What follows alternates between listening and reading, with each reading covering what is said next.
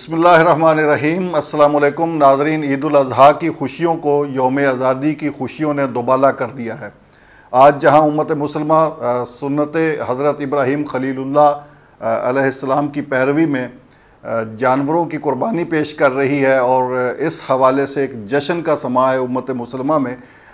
پاکستان کے مسلمانوں کو، خاص طور پر خطہ بر صغیر کے مسلمانوں کے لیے آج یہ ایک اور عید ہے، چودہ اگست کا دن۔ وہ دن ہے جس دن ہمیں آزادی جیسی بڑی نعمت موصول ہوئی۔ ان خوشیوں کے ساتھ ساتھ آج کا یہ جو یوم آزادی ہے، یہ اسپیشلی طور پر، خاص طور پر کشمیر کے ان مسلمانوں کے ساتھ، بلکہ ان کشمیری انسانوں کے ساتھ اظہار یکجہتی کے طور پر بھی منایا جا رہا ہے، جو گزشتہ کم از کم ستر ستر سالوں سے ظلم کی چکی میں پس رہے ہیں۔ جس طرح اہل پاکستان کو یہ آزادی نصیب ہوئی ہے، اس خطے میں امن ہوا، اسی طرح ہماری دعا ہے، ہماری خواہش ہے اور ہماری کاوش بھی یہی ہونی چاہیے کہ کشمیر کے انسانوں کو بھی، کشمیر کے مسلمانوں کو بھی اور خطہ کشمیر میں رہنے والے لوگوں کو بھی سکھ، چین، آزادی اور امن نصیب ہو۔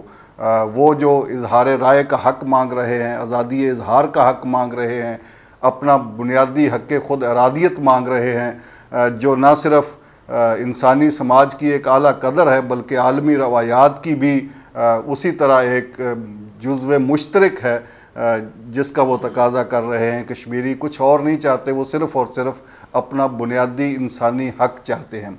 آج ہم پاکستان کے لوگ کشمیریوں کے ساتھ بھرپور اظہار یکجہتی بھی کرتے ہیں۔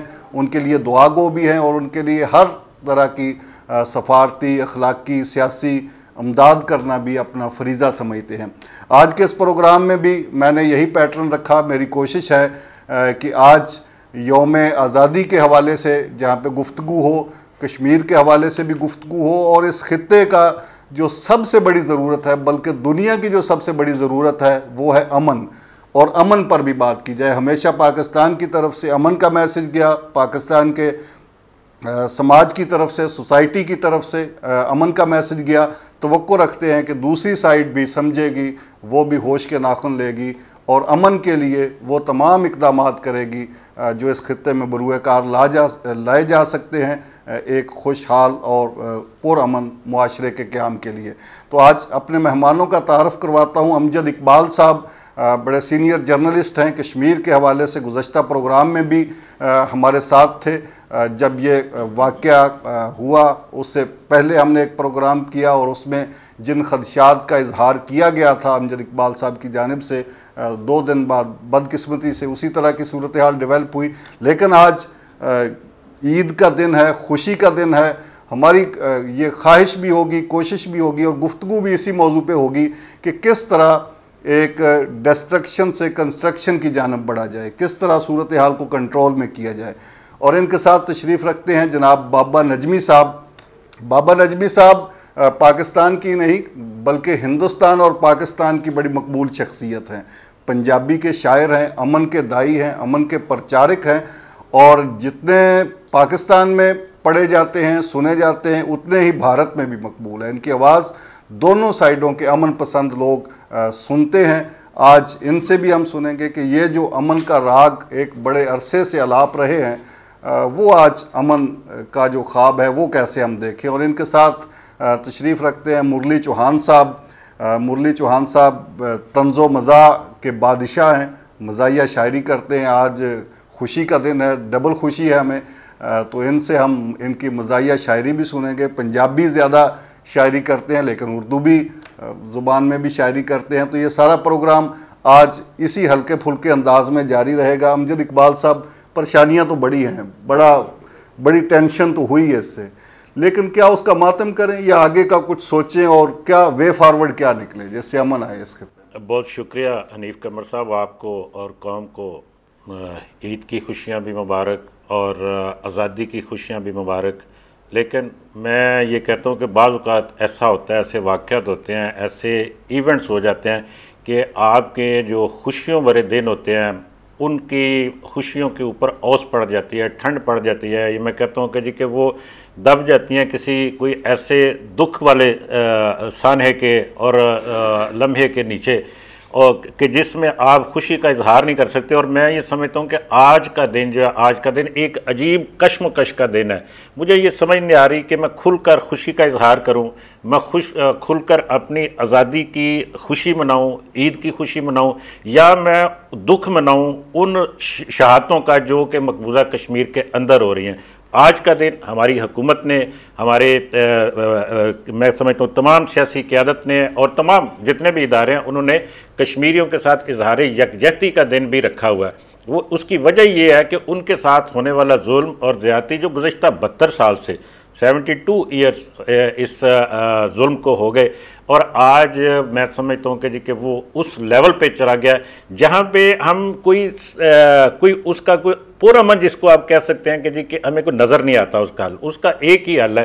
اس کا حل وہ جو نظر آ رہا ہے کہ جو ہمیں پچھلے کچھ تقریباً ڈیڑھ سے دو سال کے اندر برہان الدین وانی کی شہادت کے بعد سے وہاں پہ شروع ہونے والی کشمیریوں کی جدوجہد آزادی وہی اس کا حل مجھے نظر آتا ہے، کیونکہ انڈیا کی جو کاروائی ہیں، جس کا آپ نے ذکر کیا، ہم نے پچھلے پروگرام میں ذکر کیا تھا کہ جو مجھے نظر آ رہا تھا کہ جی کہ یہ ایک یہ تھری سیونٹی اور thirty five A four seventy اور تھرٹی فائیو اے کی جب ہم بات کرتے ہیں کہ اس میں تبدیلیاں یہ لائی جا رہی ہیں، تو اس میں آپ یہ دیکھیے کہ اس وقت کوئی اتنا دنیا میں ہم یہ کہتے ہیں کہ یہ ایک اندازہ تھا کہ یہ ہونے جا رہا ہے۔ اور وہ ہوا انہوں نے بالکل چپ چپیتا یہ کاروائی ڈالی۔ لیکن ہمارا یہ مطالبہ نہیں ہے ہمارا یہ مسئلہ ہی نہیں ہے کہ جی کہ وہ ختم کرتے وہ انڈیا نے یہ شکیں ڈالی تھی اپنے آئین کے اندر۔ آپ کو یہ یاد ہوگا کہ جب تحریک آزادی وہاں پہ اس وقت سنتالیس کے بعد سے شروع ہوئی جب یہ کنٹرول لائن کے اوپر جب اقوام متحدہ نے وہاں پہ سیز فائر کروایا تو اس کے بعد سے یہ مسلسل جاری تھا۔ تو یہ ففٹی سکس میں یہ انڈیا کے آئین میں یہ شامل کی گئی تھی اور انہوں نے کہا جو ان کو یقین دہانی کروا کے خاموش کروایا گیا تھا کشمیریوں کو کہ جی آپ کو آپ کا حق دیا جائے گا۔ لیکن آج ہم دیکھتے ہیں کہ اس حق کو انہوں نے واپس لے کے دوبارہ سے یہ سنتالیس کی پوزیشن میں چلے گئے۔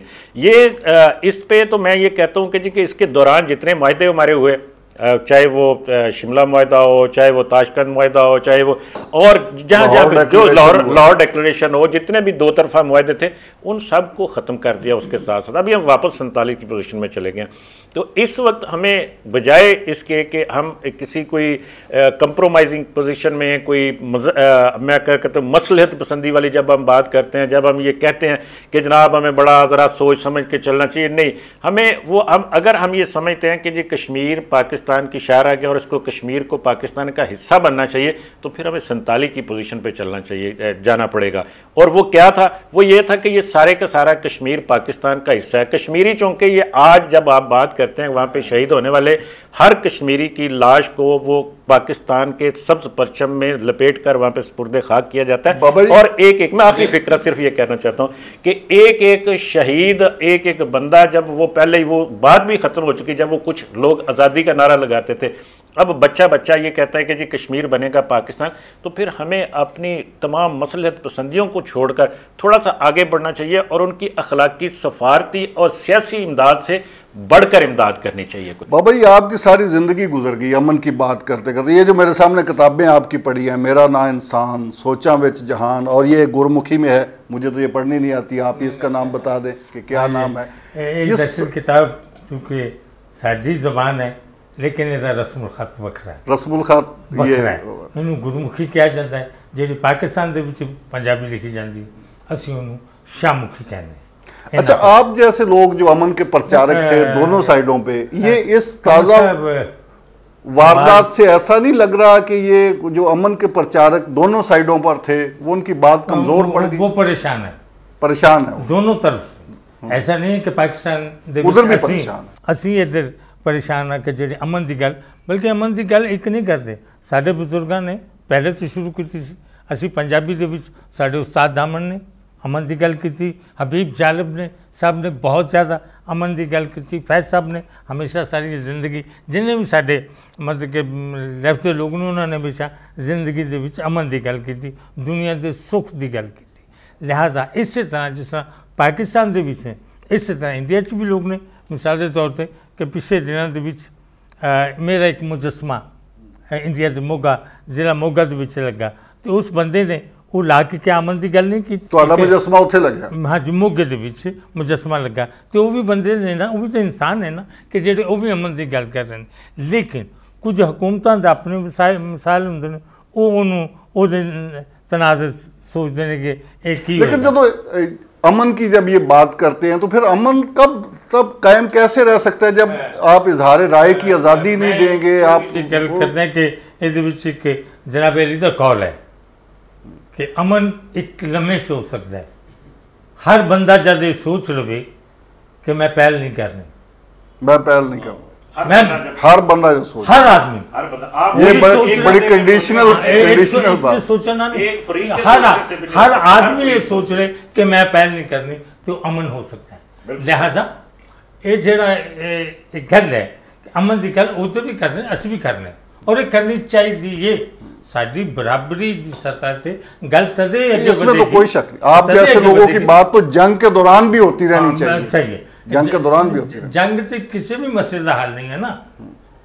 ਜੰਗ ਤੇ ਹੱਲ ਹੀ ਨਹੀਂ ਹੈ। ਔਰ ਜੰਗ ਨਾਲ ਜਿਹੜੀ ਬਰਬਾਦੀ ਹੁੰਦੀ ਹੈ ਇਹਦੇ ਵਿੱਚ ਸਭ ਤੋਂ ਵੱਡੀ ਰਸਮ ਸਾਹਿਬ ਲੁਧਿਆਣਵੀ ਸਾਹਿਬ ਨੇ ਵੀ ਇੱਕ ਜ਼ਮਾਨੇ ਦੇ ਵਿੱਚ ਤੁਹਾਡੇ ਕੋਲ ਅੱਛਾਈਆਂ ਕਲਾਮ ਵੀ ਤਾਂ ਸੁਣਨਾ ਹੈ ਨਾ। ਹਾਂ ਲੇਕਿਨ ਮੈਂ ਮੇਰੀ ਵੀ ਅਸੀਂ ਵੀ ਚੁੱਕੇ ਅਮਨ ਦੇ ਸ਼ਦਾਈ ਆ ਪਾਗਲ ਪਾਗਲਪਾਨੇ ਸਵਾਰ ਸਾਡੇ ਸੇ ਕਿ ਅਮਨ ਚਾਹੀਦਾ ਹੈ ਇਸ ਲਈ ਕਿ ਸੁਖ ਰੋਟੀ ਜ਼ਰੂਰੀ ਰਿਜ਼ਕ ਜ਼ਰੂਰੀ ਬੰਦੇ ਦਾ ਜੀਣਾ ਜ਼ਰੂਰੀ। ਇਹ ਸਾਰਾ ਕੁਝ ਜੋ ਖਲੋਤਾ ਹੋਇਆ ਉਧਰ ਜਾਂ ਇੱਧਰ ਮਜ਼ਬੀ ਸਤ੍ਹਾ ਦੇ ਹਵਾਲੇ ਨਾਲ ਜਾਂ ਮੁਲਕੀ ਸਤ੍ਹਾ ਦੇ ਹਵਾਲੇ ਨਾਲ ਜਾਂ ਰਿਆਸਤ ਦੀ ਸਤ੍ਹਾ ਤੇ ਅਮਨ ਦੀ ਵਜ੍ਹਾ ਨਾਲ ਖਲੋਤਾ ਹੈ। ਜਦੋਂ ਅਸੀਂ ਜੰਗ ਕਰਾਂਗੇ ਤਾਂ ਫਿਰ ਤਾਂ ਕੁਝ ਨਹੀਂ ਬਚੇਗਾ।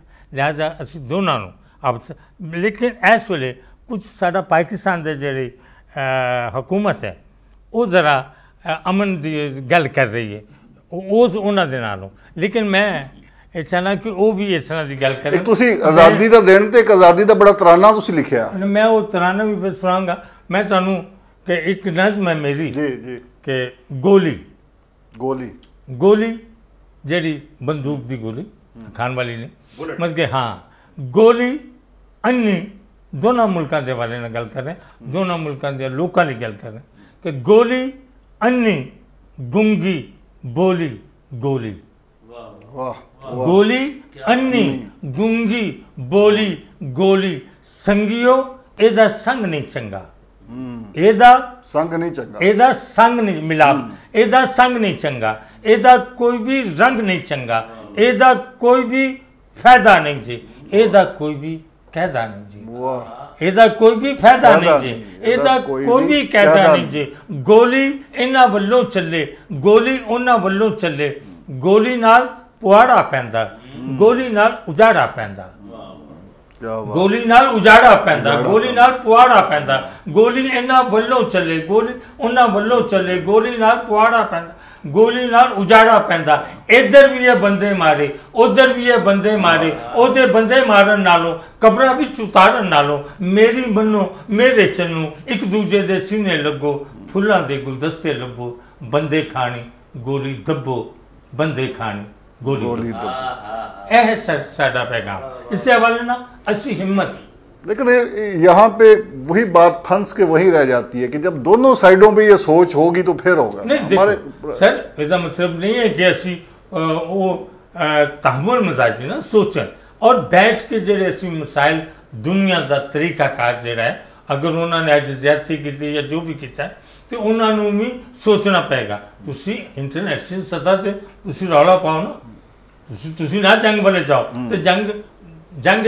ਦੀ ਜੰਗ ਮਜ਼ਾਕ ਭਾਰਤੀ ਪ੍ਰੈਸ਼ਰ ਵੀ ਤਾਂ ਹੁੰਦਾ ਹੈ ਨਾ। ਮੌਜੂਦਾ ਜੋ ਜੰਗ ਮਜ਼ਾਕ ਵੀ ਨਹੀਂ ਹੈ। ਇਹ ਬੜਕਾ ਨਹੀਂ। ਹੁੰਦਾ ਮਾਰਦੇ ਨੇ ਲੋਕ ਆਪਣੀ ਆਪਣੀ ਥਾਂ ਤੇ। ਉਹਨਾਂ ਨੂੰ ਮਾਰਨਗੇ ਲੇਕਿਨ ਸਾਨੂੰ ਥੋੜਾ ਜਿਹਾ ਬੜੇ ਮੁਤੱਬਰ ਹੋ ਕੇ ਸੋਚਣਾ ਪਵੇਗਾ ਕਿ ਕਿਆ ਅਸੀਂ ਇਹ ਜ਼ਰੂਰੀ ਹੈ। اسی کیوں نہ اپنا ਜਿਹੜਾ ਸਾਡਾ مقدمہ ہے اسی دنیا ਦੇ سامنے ਰੱਖੀਏ। ਲਓ ਜੀ ਇਹ ਕਰ ਰਿਹਾ ਜੇ ਬੰਦਾ ਜ਼ਿਆਦਤੀ مورلی صاحب بابا نجمی سے وہ ترانہ بھی سننا ہے میں نے لیکن اس سے پہلے آپ یہ چونکہ وہ عید جا رہی ہے جو عید الاضحیٰ کا آج آخری دن ہے وہ جا رہی ہے اس جاتی عید کے حوالے سے بھی آپ کچھ سنائیں ہمیں اور ساتھ ازادی کے حوالے سے بھی۔ جی دیکھیں جو ابھی بات چل رہی ہے تو اسی کو میں آگے سلسلہ چلاؤں گا کہ آج چودہ اگست ہے اور یہ بے شک یہ آزادی کا دن ہے خوشی کا دن ہے۔ لیکن یہ اس کے ساتھ ہی جو آپ کے کشمیر میں ہوا یہ تھری سیونٹی جو آرٹیکل جو انہوں نے وہ کیا ان کو زمینیں جو پہلے خرید نہیں سکتے تھے اب خرید رہے ہیں۔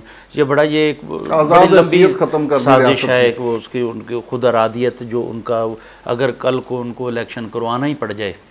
تو اس لیے۔ تو بات تو میں بابا نجمی کی صاحب کی سیکنڈ کروں گا کہ پہلے امن ہے، پہلے امن کی بات ہے۔ اس کے بعد ہی چیزیں چلتی ہیں۔ امن ہے تو خوشی ہے، امن ہے تو صحت ہے، امن ہے تو ملک ہے، امن ہے تو ہم ہیں، سب، ورنہ کچھ بھی نہیں ہے۔ تو میں اس کے لیے یہ آپ کو ایک قطع سناتا ہوں اپنا سٹارٹ میں کہ صدائے نسل نو ہے یہ، کرو تم غور فی الفور۔ صدائے نسل نو ہے یہ کرو تم غور الفور۔ الفور۔ ہمیں مطلوب ہے امن و اما کا دور فی الفور۔ واہ۔ ہمیں مطلوب ہے امن و اما کا دور فی الفور۔ ہے حق خود ارادیت ہی واحد حل میری جاں بدلنا ہوگا یہ انداز اب ہر طور فی الفور۔ فی الفور۔ تو یہ ہے کہ ہم تو امن کی دھرتی والے لوگ ہیں امن کو ہمارا اسلام بھی امن کی آپ کو سبق دیتا ہے اور پریکٹیکلی بھی وہ سب پیچھے ہمیں نظر آتا ہے۔ اس لیے یہ ہے کہ ہمیں پہلے تو سب سے امن کی بات کرنی چاہیے۔ لیکن ال- اللہ نہ کرے اگر یہ سب امن کیونکہ یہ دو طرفہ۔ دو طرفہ ہے۔ اگر فرض کریں کسی بھی ایک طرف سے میں کسی کو بلیم نہیں دیتا میں اپنی بات کر لیتا ہوں کہ اگر ہم امن پہ اتنا نہ چلیں گے تو کیا ہوگا؟ ظاہر اس کا کیا اینڈ پہ کیا ہوگا؟ اچھا نتیجہ نہیں نکل جنگ کوئی بھی نہیں جیتا تو یہ ہے کہ اس لیے دونوں صورتوں میں یہی وہ گولی والی بات یہ کہ گولی اندھی ہوتی ہے وہ نہیں دیکھتی۔ وہ خون تو انسان کا بہے گا یہ مذہب تو بعد میں آتے ہیں۔ بیسیکلی گل کی او کچانے نے اسی کچانے ਉਹ ਲੇਕਿਨ ਇਹ ਰਿਆਸਤਾਂ ਹੁੰਦੀਆਂ ਨੇ ਜਿਹੜੇ ਰਿਆਸਤਾਂ ਦੇ ਸਰਬਰਾਹ ਹੁੰਦੇ ਨੇ ਉਹ ਕੁਝ ਕਮਲੇ ਵੀ ਬਸ ਕੁਆਤ ਆ ਜਾਂਦੇ ਨੇ। ਪਾਗਲਪਨ ਵੀ ਸਵਾਰ ਹੁੰਦਾ ਹੈ। ਅਕਸਰ ਵੀ ਆ ਜਾਂਦੇ ਨੇ। ਹਾਂ ਹਾਂਜੀ? ਅਕਸਰ ਵੀ ਆ ਜਾਂਦੇ ਨੇ ਨੇ। ਲੇਕਿਨ ਉਹ ਇਹ ਕਿ ਆਪਣੀ 5 ਸਾਲ ਵਾਸਤੇ ਜਾਂ ਆਪਣੇ ਇਕਤਦਾਰ ਨੂੰ ਤੂਲ ਦੇਣ ਵਾਸਤੇ ਇੰਜ ਨਾ ਕਰਨ ਕਿ ਦੁਨੀਆ ਦਾ ਟਕਰਾਅ ਕੋਈ ਪੈਦਾ ਕਰ ਦੇਵੇ। ਅੱਛੀ ਗੱਲ ਨਹੀਂ ਹੈਗੀ। ਕਿ ਤੂਲ ਹੀ ਰੱਖੇ ਨਾ। ہاں، ہم جیسا یہ جو امن کا نیریٹو ہے بڑا جاندار ہے انسانوں کا مسئلہ ہے دنیا بھی اس بات کو مانتی ہے یہ کہ دونوں سائڈوں پہ یہ کمزور کیوں پڑ رہا ہے؟ انڈین سوسائٹی تو اپنے آپ کو بڑی جمہوری سوسائٹی کلیم کرتے ہیں دنیا کی بڑی جمہوریہ کہتے ہیں وہ۔ وہاں پہ بھی امن کی بات کرنے والے بابا نجمی جیسے لوگ ادھر بھی اور ادھر بھی ان کی بات کیوں کمزور پڑ دونوں طرف بڑی مضبوط آواز ہے۔ امن کی بات کرنے والوں کی وہ ہو جیسے ادھر بھی تو اسمبلی میں بات اٹھ رہی ہے ہاں، یہ بات ہو رہی ہے۔ اس میں کوئی یہ کریڈٹ وہاں کے امن پسندوں کو بھی جاتا ہے۔ بات ہوتی رہنی چاہیے۔ امن کے اوپر بات ہونی چاہیے۔ لیکن بات یہ ہے کہ اگر آپ کے اوپر کوئی گولی چلا رہا ہے، کوئی آپ کا حق چھین رہا ہے، کوئی آپ کے اوپر کسی نے ہاتھ اٹھایا ہوا ہے، کوئی آپ کی زمین پر قبضہ کر رہا ہے، کوئی آپ کے گھر میں گھسنے کی کوشش کر رہا ہے، اس وقت آپ امن امن امن امن کرتے رہیں گے تو وہ آپ کے گھر میں گھس آئے گا۔ پہلے اس کا ہاتھ روکنا ضروری ہے، اس کی اس کی پیش قدمی کو روکنا ضروری ہے۔ پھر اس کے بعد بیٹھ کے آپ امن کی بات کریں۔ بھئی آپ کا ایشو کیا ہے؟ آپ کا مسئلہ کیا ہے؟ آپ کیا چاہتے ہو؟ ہمارے ساتھ بیٹھ کے بات کرو نا۔ اگر ہم یہ بات یہ کرتے رہیں کہ بھئی اگر کوئی ہمیں تھپڑ مار رہا ہے تو ہم کہیں کہ یار اور دو مار لو۔ چلو کوئی بات نہیں۔ یار چلو یہ انفرادی سطح پہ تو ہے۔ قوموں اور ریاستوں کی سطح پہ ایسا نہیں ہوتا۔ بھی جی۔ جی۔ خبر ہے انہیں بھی جی۔ خبر ہے۔ وہ ہو رہا نہیں ہوتا۔ انہیں پتا ہے کہ پاکستان ایک طاقتور ملک ہے۔ نہیں لیکن وہ ان کے پاس وہ سب کچھ ہے۔ جو وہ رکھتے ہیں وہی ہم رکھتے ہیں۔ اگر ہم اگر ہم اس بات کو یوں سمجھ لیں کہ جس طرح سے وہ کہتا ہے کہ جی کشمیر ہمارا اٹوٹ آنگ ہے ہم کہتے ہیں کشمیر پاکستان کی شہر ہے ٹھیک ہے؟ تو اب کشمیر کے اوپر وہ حملہ کرتا ہے کشمیر کا حق چھینتا ہے تو کس کا حق چھینتا ہے؟ پاکستان کو میں یہی عرض کر رہا ہوں کہ وہ امن کی بات یہ نہیں کہ چھوڑ دینی چاہیے ہمیں امن کی بات ضرور کرنی چاہیے ہمیں امن کا وہ اس کا اینڈ جو وہ ہمیشہ جنگ کا اختتام مذاکرات کے اوپر ہوتا ہے بات چیت کے اوپر ہوتا ہے۔ آپ کہیں بیٹھ کے کچھ چیزیں طے کرتے ہیں لیکن معاملہ یہ ہے کہ جب کوئی اگریشن کر رہا ہے جب کوئی کسی آپ کے حق کے اوپر ڈاکہ ڈال رہا ہے تو اس کے ہاتھ کو روکنا بہت ضروری ہوتا ہے۔ جی۔ اس کے طریقے ہیں۔ آپ کس طرح سے روکتے ہیں؟ آپ کے پاس جو طاقت ہے جو بھی جو آپ کو مناسب راستہ لگتا ہے اس کے ذریعے سے اس کو روکیں۔ مطلب فرض کریں میں کہتا ہوں جی جس طرح سے بابا جی کہہ رہے ہیں پہلے بات یہ آپ سفارتی سطح پہ کوششیں کریں۔ ہاں، یہ ساری امن کی کوششیں آپ نے ان کا پائلٹ چھوڑا نا تو پوری جی۔ نے اس کی ہماری تعریف کا جواب ہماری تعریف کی ادھر سے پھر بھی جواب ٹھیک نہیں ہے جواب کیا دیا اس کا؟ یہ تو دیکھیں نا یہ ٹھیک ہے ہم نے کیا لیکن ادھر سے جواب اچھا نہیں آیا۔ اگلی بات یہ ابھی انہوں نے جو بات کی سر یہ جڑی ہوئی بات ہے نا اس کے ساتھ۔ دوسری بات یہ ہے کہ کشمیر کے اندر جو انہوں نے کیا ہم کوشش اب بھی کر رہے ہیں۔ ہم نے کون سا انڈیا کے اوپر کوئی خدا ہاں۔ خستہ کم یہ کہتے ہیں کہ جی ہم جنگ میں چلے گئے۔ یہ تو نہ تو ہماری حکومت نہ اپوزیشن وہ بھی کرتی ہے ہم تو حملہ نہیں کر رہے حملہ نہیں کر رہے نا لیکن ہمیں اس کو روکنے کے لیے نے کہا نا ہمیں حملہ کر نہیں حملہ نہیں کرنا۔ بات یہ ہے کہ دیکھیں، اس کے لیے ہم کر کے تھے، جیسے میں نے عرض کیا کہ ہمیں تھوڑا سا سفارتی، سیاسی اور جو ہم ایک ہمارا رٹا رٹایا ہمیشہ سے فکر ہے کہ جی ہم اخلاقی، سفارتی اور سیاسی سطح پر ہم حمایت جاری رکھیں۔ بھائی نہیں، تھوڑا سا آگے بڑھنا چاہیے۔ آپ کو اپنی پوری دیکھیں ہم کہاں پہ شکست کھا رہے ہیں؟ ہم اپنے سب سے پہلی بات یہ انہی تینوں چیزوں کے اوپر آ جائیں۔ ہم صفاتی سطح کے اوپر کیا کیا ہم نے؟ اب یہ چار دن سے ہم فرد کرو ایکٹیو ہوئے ہیں۔ یہ ہے۔ اس کے بعد یہ پچھلے ستر سال سے ہم کیا کر رہے تھے؟ کہاں پہ ہماری ہم خارجہ پالیسی ہماری کہاں پہ سٹینڈ کرتی ہے گفتگو تھوڑی نا ہارڈ ہو گئی ہے جی، جی، اور جی، یہ عید کا لیکن یہ لیکن یہ دیکھیں سب سے پہلی میں تھوڑی سی چلیں ہم اس کو یہ تہوار بھی دے کر کے ہمیں تھوڑا سا نا اس کے حوالے سے لوگوں کے ذہنوں میں شکوک و شباد پیدا ہوتے ہیں جب اس طرح کے رویے ہوتے ہیں اس طرح کی چیزیں ہوتی ہیں۔ لوگ یہ کہتے ہیں کہتے ہیں کہ جی ہم فرق میں یہ بات کر رہا ہوں اور بھی لوگ کرتے ہوں گے جی کہ ہم کیا کرتے رہے کہاں تھے ہم سوئے ہوئے تھے ہم یہ تھے۔ ہم وہ تھے۔ اسمبلی کے اندر آپ نے تقریریں آپ نے پولیٹیشنز کی سنی۔ گو کہ وہ سیاست ہو رہی تھی لیکن ایون دین اس میں کچھ باتیں سچ بھی۔ کہ ہم نے اپنے عوام کو کیا بتایا کہ ہم کیا اس کے اوپر چاہتے کیا ہیں کشمیر کو؟ آپ ہمارے سامنے ایک مشرف فارمولہ آیا جی۔ اس کے بعد وہ کہاں آ گیا؟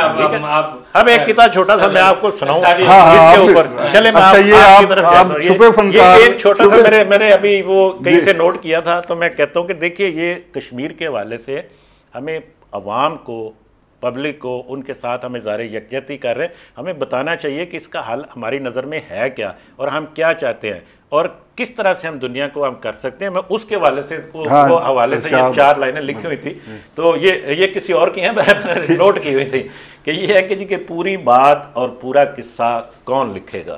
ہاں۔ بابا جی آپ لوگوں نے جی۔ کرنا ہے پوری بات اور پورا قصہ کون لکھے گا؟ کتنا مشکل تھا یہ رستہ؟ کون لکھے کون لکھے گا؟ ٹھیک ہے۔ دن اور رات کے آدھے آدھے بٹوارے میں۔ دن اور رات کے آدھے آدھے بٹوارے میں۔ اب آدھے پہ وہ بیٹھے ہیں آدھے پہ ہم بیٹھے ہیں۔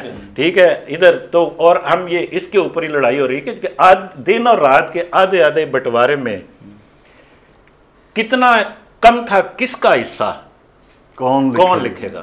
کتنا کم تھا کس کا حصہ اس میں کس کا نقصان ہو رہا ہے؟ کس کا ہو رہا ہے؟ کیا کیا ہم یہاں پہ کسی نے تو سچ بات کرنی ہے وہاں پہ دلی میں بیٹھ کے بات کر رہے ہیں یا جو وہاں پہ جو مر رہے ہیں کس کو کس کا نقصان کس کا ہو رہا ہے؟ یہ کو بتائے تو صحیح نا۔ صاحب بابا جی سے بابا جی سے ترانہ بعد میں سنوں گا پہلے عید کے حوالے سے آپ کچھ سنائے ہیں مجھ سے جو پیغام ہے میرا ایک خصوصا جی۔ مودی صاحب کو وہ بھی میں سنانا چاہتا ہوں۔ اگر بریک کے بعد مودی صاحب کو پیغام بریک کے بعد اس سے پہلے آپ عید کے حوالے سے یہ تھوڑا سا موضوع بھی چینج ہو جائے گا تو عید کی خوشیاں بھی تو ہم نے منانی ہیں اور جی، میں پہلے کچھ کہہ نہیں سکا۔ تو میں سب پاکستانیوں کو اور پاکستان میں جتنی ہماری اقلیتیں ہیں سب کو چودہ اگست مبارک اور ہماری عید مبارک سب کو تمام لوگوں جی عید مبارک۔ عید کے حوالے سے ایک پنجابی نظم چھوٹی سی لکھی ہے کہ یہ بڑا ایک کردار ہوتا ہے۔ یہاں جس کی سارے معاشرے کی نظریں اس پر ہوتی اس کو قسائی کہتے ہیں۔ قسائی تو بڑا ہو گیا۔ تو وہ ظلم تنگ نظم ہے کہ وہ دیکھیں ذرا اس کو کس طرح بدعائیں دے رہے ہیں لوگ کہ یار قسائیہ یار قسائیہ ਈਦ ਦਿਹਾੜੇ ਤੂੰ ਨਾ ਸ਼ਕਲ ਵਿਖਾਈ ਤੈਨੂੰ ਆਵੇ ਕਿਸੇ ਦੀ ਆਈ। ਯਾਰ ਕਸਾਈਆ ਈਦ ਦਿਹਾੜੇ ਤੂੰ ਨਾ ਸ਼ਕਲ ਵਿਖਾਈ ਤੈਨੂੰ ਆਵੇ ਕਿਸੇ ਦੀ ਆਈ। ਆਉਣਾ ਸੀ ਤੂੰ ਸਵੇਰ ਸਵੇਰੇ ਹੁਣ ਵਜੇ ਨੇ 2:30 ਵਾਹ। ਤੈਨੂੰ ਆਵੇ ਕਿਸੇ ਦੀ ਆਈ। ਤੈਨੂੰ ਆਵੇ ਕਿਸੇ ਦੀ ਆਈ।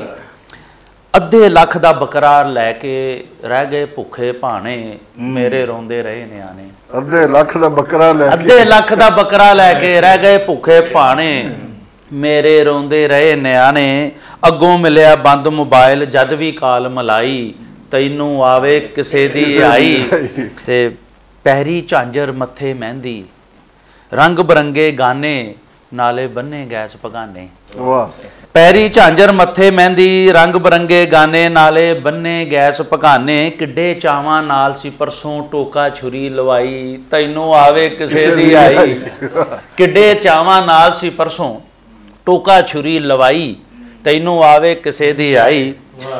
ਸਾਨੂੰ ਲਾਰਾ ਲਾ ਕੇ ਭਾਈਆ ਜਿੱਥੇ ਵੀ ਤੂੰ ਜਾਵੇਂ ਸ਼ਾਲਾ ਜਿਹੜਾ ਜਨਵਰ ਹੂੰ ਸਾਨੂੰ ਲਾਰਾ ਲਾ ਕੇ ਭਾਈਆ ਜਿੱਥੇ ਵੀ ਤੂੰ ਜਾਵੇਂ ਸ਼ਾਲਾ ਜਿਹੜਾ ਜਾਨਵਰ ਢਾਵੇਂ مارے ਤੇਰੇ ਢਿੱਡ ਚ ਢੁੱਡ ਤੇ ਲੱਭਦਾ ਫਿਰੇ ਦਵਾਈ تینو آوے کسے دی آئی ਤੈਨੂੰ ਆਵੇ ਯਾਰ ਕਸਾਈਆ ਈਦ ਦਿਹਾੜੇ ਤੂੰ ਨਾ ਸ਼ਕਲ یہ تو وہ کسائی ہے جو عید کے موقع پر ہمیں یاد آتا ہے اور جس کو ایک بڑے خوبصورت انداز میں دعا نما بد دعا دے رہے ہیں مرلی صاحب لیکن ایک اور کسائی بھی ہے جس نے اس خطے کا جینا حرام کر دیا ہوا ہے جس نے مسلمانوں پر زندگی تنگ کر دی ہوئی ہے ہم اس کو ڈائریکٹ نہیں کہتے، دنیا اس کو کہتی ہے، بچر آف گجرات اس کو کہتی ہے۔ بچر آف گجرات کے نام جو پیغام ہے بابا نجمی صاحب کا، وہ دیں گے ہم ایک بریک کے بعد، میرے ساتھ رہیے گا۔ چھوٹے سے وقفے کے بعد دوبارہ ملتے ہیں۔